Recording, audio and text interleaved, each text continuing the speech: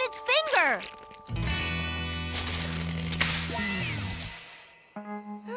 oh no! The fruit juice shorted it out! My ring chip is ruined! Kratt Brothers! Hide! Where are you two?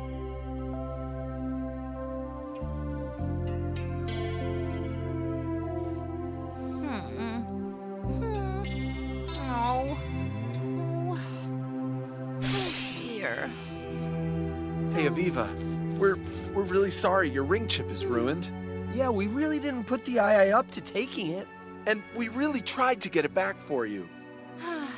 I know.